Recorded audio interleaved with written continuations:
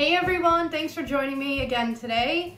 Um, before I, we get into the Dutch pour, I just wanted to show a few dry pieces from um, a couple of my previous videos. This one here is a 16 inch cradled round wood and it is from the Great Switcheroo collaboration.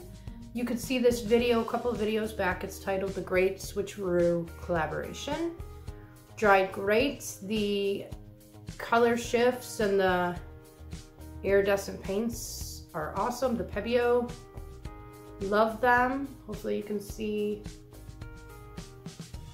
the shine. This is not resined or varnished yet or anything like that. So I'll show you that when that's done. But yes, I love this one. This next one is, I may have showed this, I can't remember, but maybe it was on my feed that I showed it. This was a swipe that I did. This is the same 16 inch round. Again, this isn't varnished or resined or anything. That dried nicely. And then I have my abstracty, abstract swipe.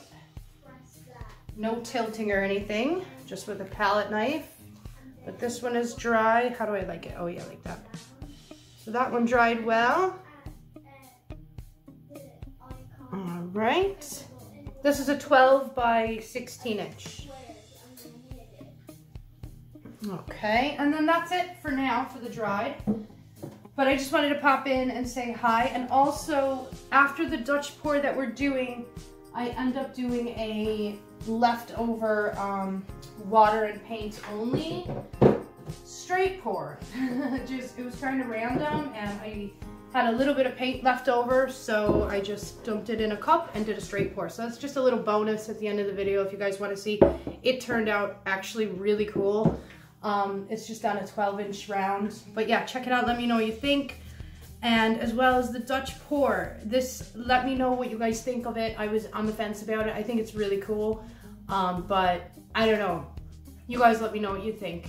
I'll show you the dried result um, in my YouTube feed or on my Instagram um, or one of the next videos.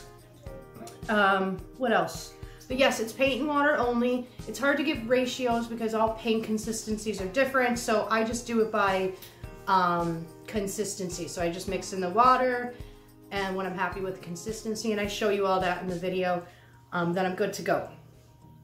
Uh, do, do, do. I do mix up one paint and water mix in the collaboration video. So if you want to see that, just head um, go a few videos back and look for the Great Switcheroo collaboration video.